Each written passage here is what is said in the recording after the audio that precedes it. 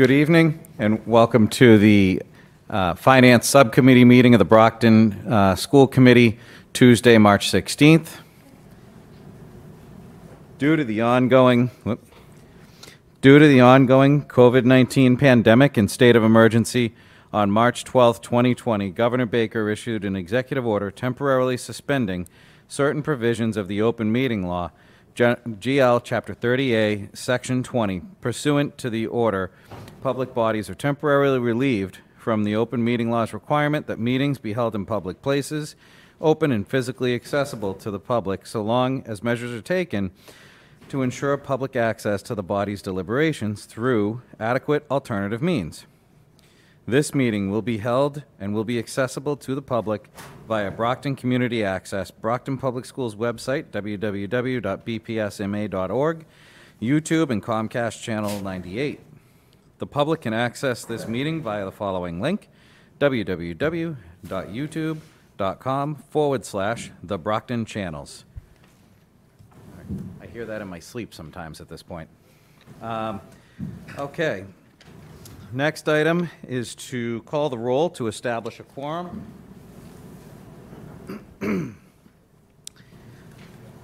Okay. Mayor Sullivan, I don't believe is with us yet. Uh, D'Agostino here. Miss Asack. Here. Um, Mrs. Mendes had reached out and let me know that uh, she had a family situation, so she won't be able to join us tonight. Mr. Minichiello. Mr. Rodrigues. Here. Mrs. Sullivan. Yeah. Mr. Sullivan. Here. Here. Okay. He's on Zoom. Can we right work behind you. on that? Oh, he's right on there. Okay. Right Behind you. Thank you, Mr. Sullivan. All right. We Mark, have did you get it? quorum Did you get it, established.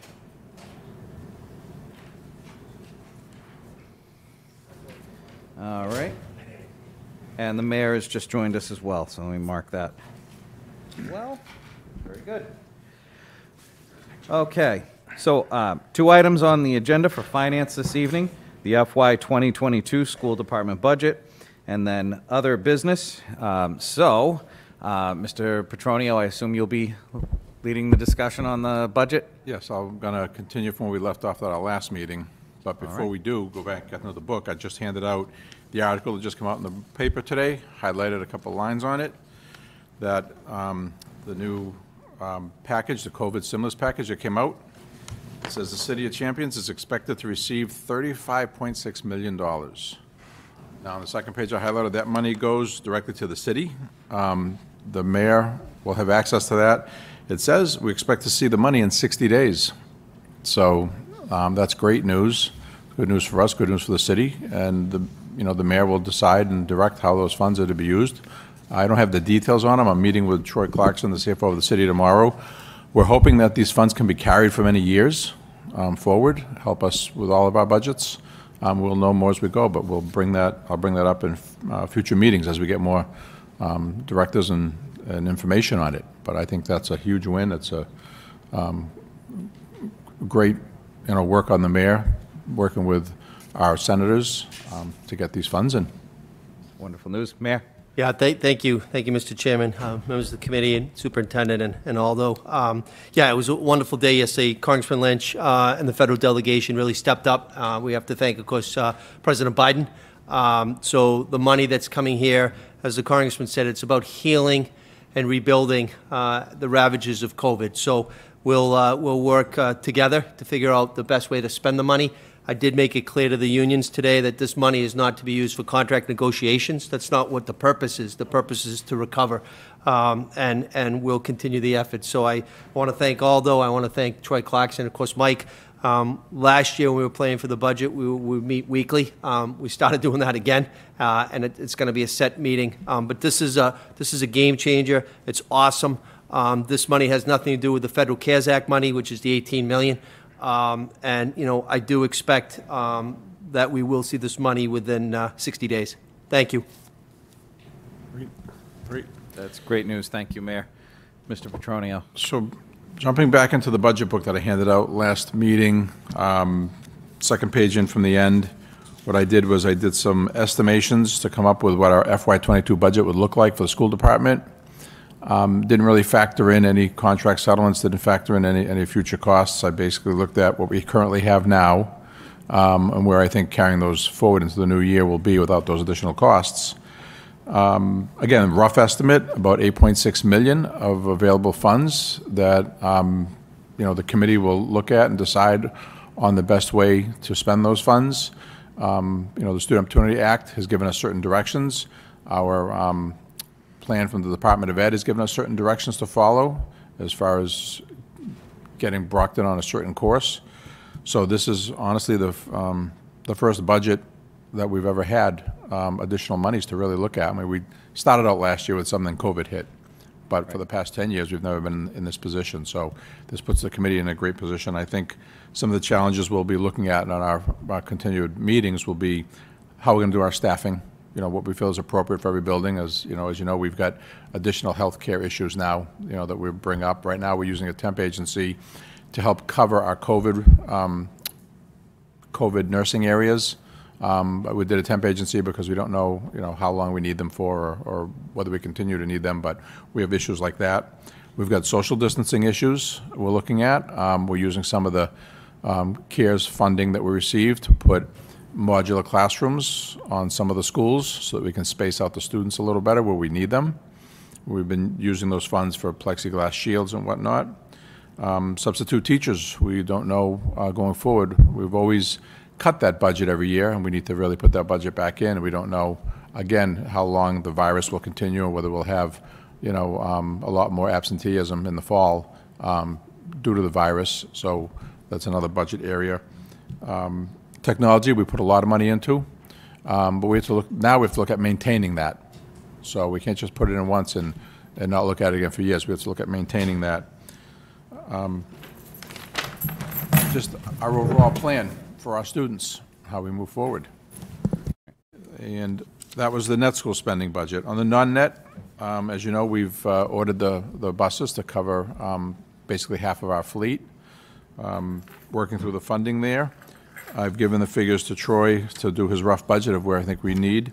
Um, We, we were around 15 million for FY '21 is what we had for funds. Um, We had some carryover funds. I'm estimating we need about 13 and a half, maybe close to 14 million for um, this year. We saved some money in buying our own buses, so I'm reflecting that in our totals here. Our student population is down a little bit, so that's reflected in here also. Um, If the students all show back up September 1st, that's wonderful for us. We have to make accommodations for that. But um, overall, I think we're in good shape to move forward um, with non-net. The city uh, fully funded us this year, which was great, and um, they've been, you know, supporting us on that um, going forward, so I think we're in great shape. The last page, I put in the budget timeline, because I know every year this comes up. Uh, It basically goes through how we begin our budget. We begin asking departments their needs and their re- requirements in November, and we slowly build our budget from that point. I factored in, you know, what happens in November, December, my office starts, um, you know, taking all those figures and and adding them into our budget planner. Then we wait for January for the governor to come out with his budget, which he did. Looks, you know, great for us. Um, Overall, the net up a little over 18 million, which is huge. Um, And then we wait for the House. So the House is um, usually the middle of April.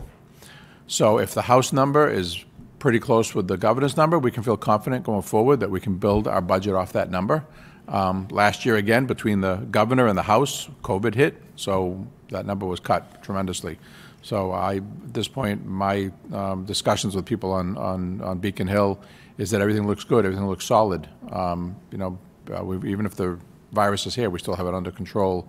Uh, Looks like the economy is, is coming in faster than we planned. I know the city revenues look good, the state revenues look pretty good. So I think uh, in a few weeks, we'll know a number from the, from the House, and I think from them to the Senate, there won't be much of a change.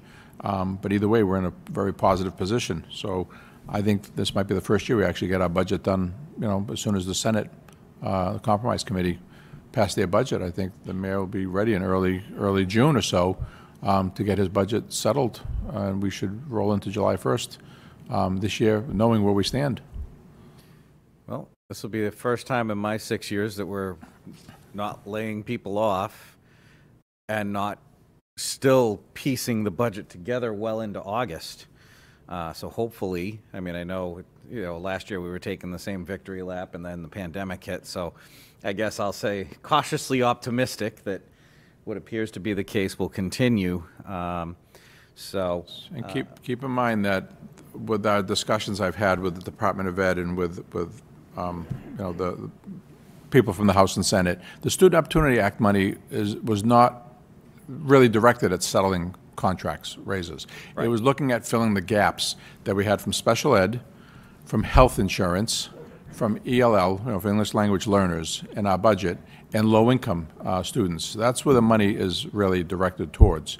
So although it sounds like a windfall, it's to correct the positions that we've been in for the past 10 years that the, the state had been lacking on. Um, You know, when it's the suburbs versus the urbans, this now gives us a chance to get back up uh, to speed and, and get on equal playing grounds with the suburbs. And hopefully we'll continue to see this each year.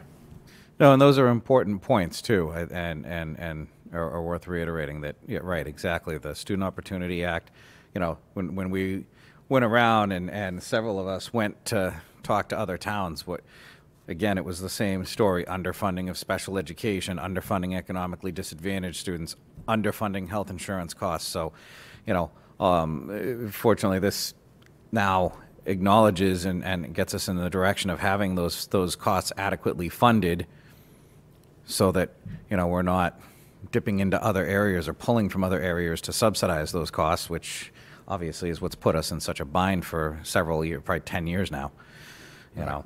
Um, So, and I'm, I, I- I think this is an important point that you brought up, and I want to make sure that we don't miss this because in, in past years, obviously, we cut technology substantially, and we had to, right? We were trying to save as many um, jobs as we could and as many programs as we could. So, um, but now we've bought all these devices. We're a one-to-one district.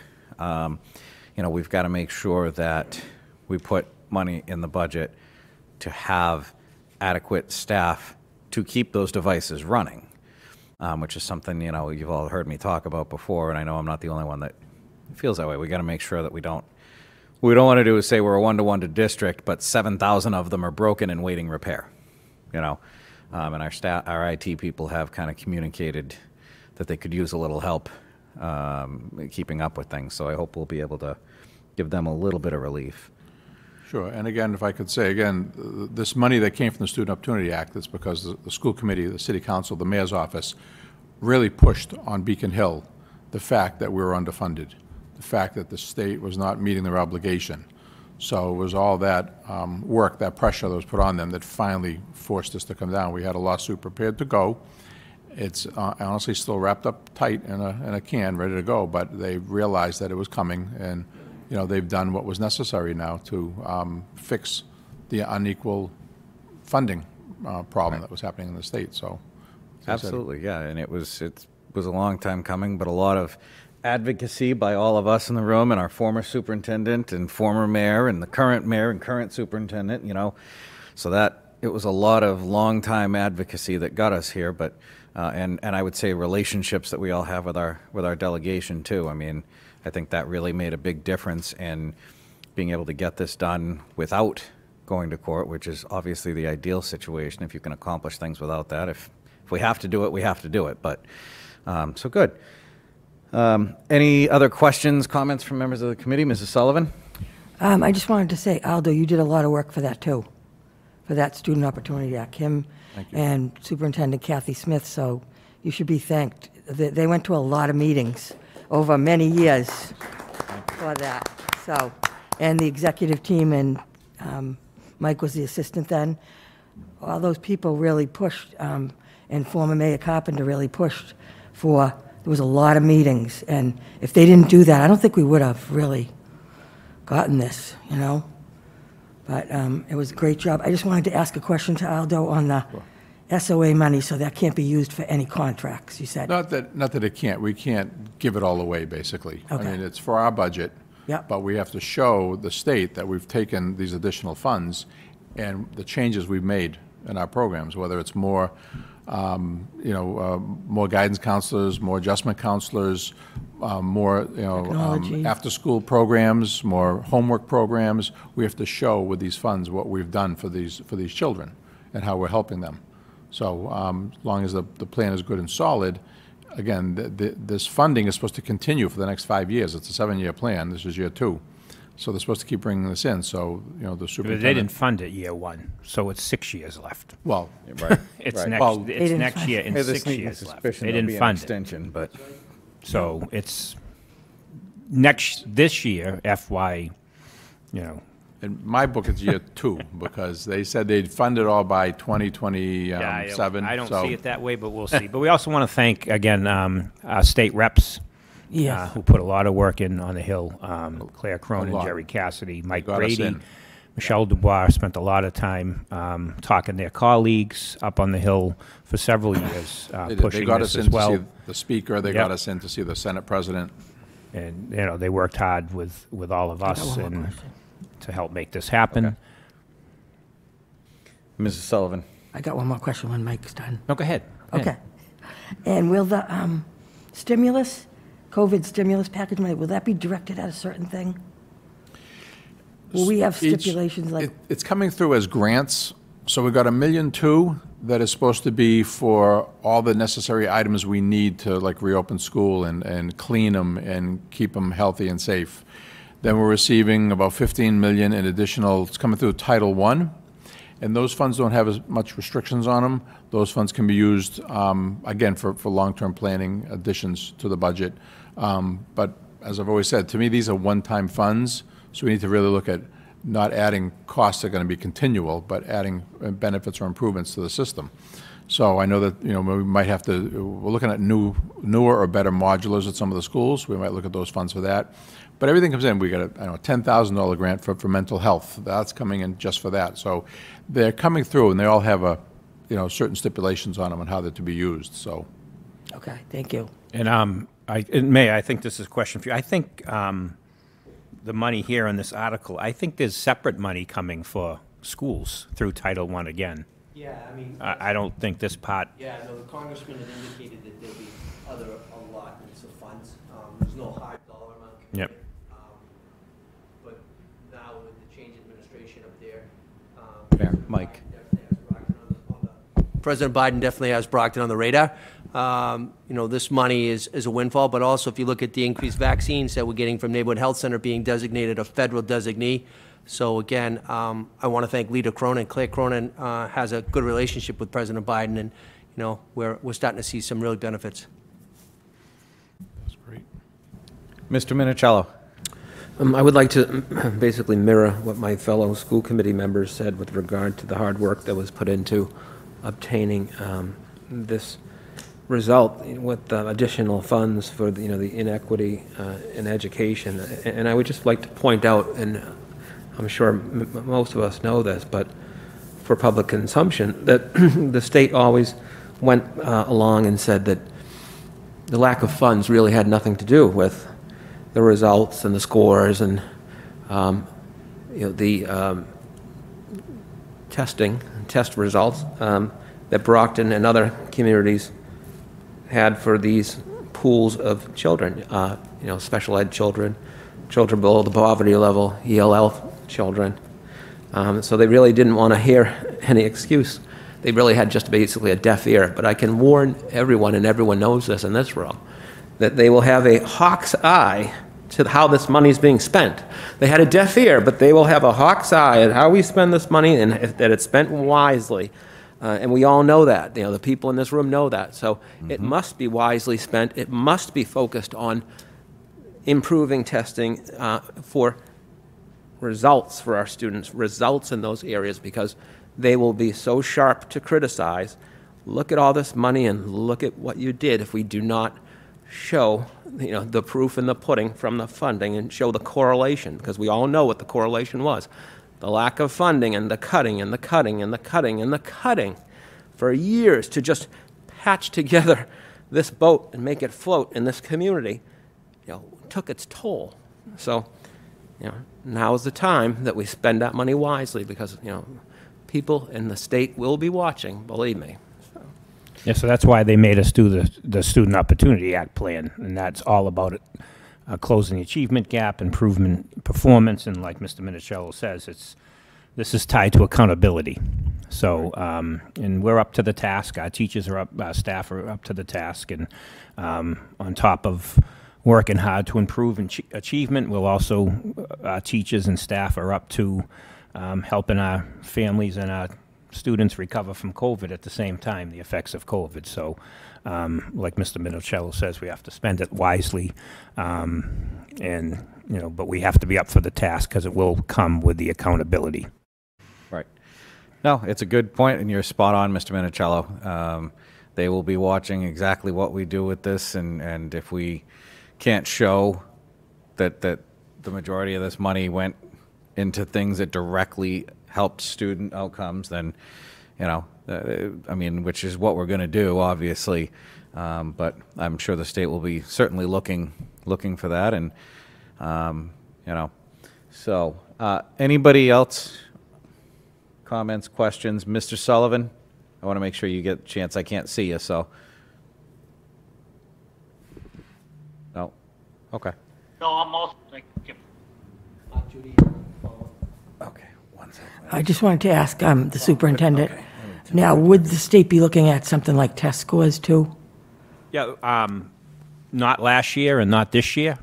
Um, they're going to be, um, last year, obviously, there were none. This year, if there are, if they continue um, with the MCAS, um, they would be for, not for accountability uh, or rating school systems or schools. It will be strictly for diagnostic reasons um, to help us identify, you know, where students, how much uh, students have lost.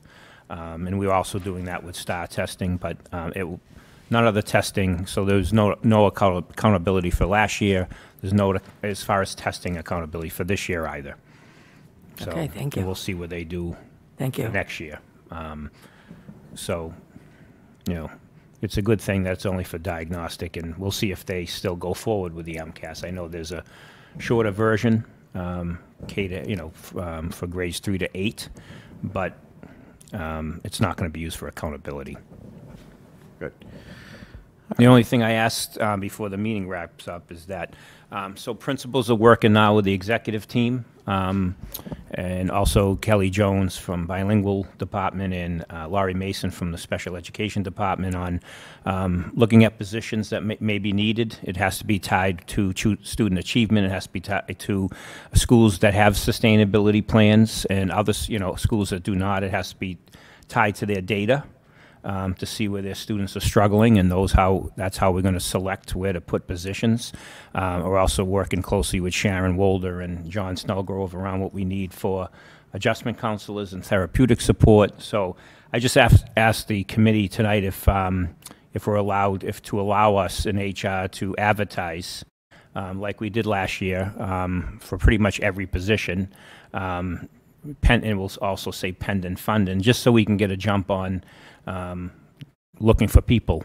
Uh, you know, just applications. Uh, obviously, no interviews would start until a final budget is approved, but it helps us get ahead of the game. It helps us start to recruit, uh, go to you know some virtual, you know, college fairs that also help us recruit uh, at the um, at traditionally uh, the black colleges to allow us to um, really start to recruit teachers of color. Um, so it gets us ahead of the game if we're allowed to advertise now. But again, we would put in uh, in the posting that this pen, it pens fund pending funding. So basically, you're, and I assume you, you need a vote of the committee to, and all you're looking to do is just advertise for position, for, basically to put out that, that we're looking for people. There's no certain number at this point. Exactly. Um, You know, you just want to start to market to. Yeah, start right marketing. That, that we're hiring, um, which. Been a long time. Yeah, yeah. Um, so can you give us an idea? Because obviously, you know, you're just basically accepting applications is what you're looking for. Absolutely. Accepting applications. No interviews would be set up. There's no number approved by Right. the school committee yet. It's just basically being able to start to market ourselves and, and recruit and, go to college fairs and let people know that we're hiring, but there will be no number. Um, There'll be no interviews until, again, we have to vet all these positions with the executive team, with the principals. They have to be positions that make sense, that are tied to the Student Opportunity Act and accountability. And again, looking at um, the data from schools, so where these positions are needed. Uh, But again, we would not hire uh, or even have interviews until the school committee passes a budget.